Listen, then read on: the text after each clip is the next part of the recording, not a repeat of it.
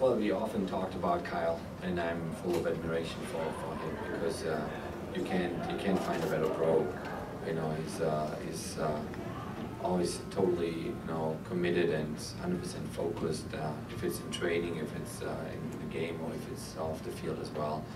Um, his his part that he plays on the field, we discussed that many times. You know, things that I like, things that I want to improve, seeing him improve, and he knows those things, so I don't in front of the media.